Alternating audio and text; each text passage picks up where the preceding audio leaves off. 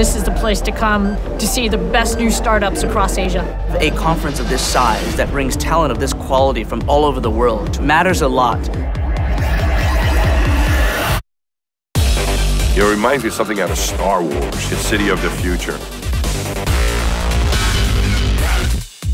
This new generation of people, new generation of companies, it is changing the world of technology. It's changing the world.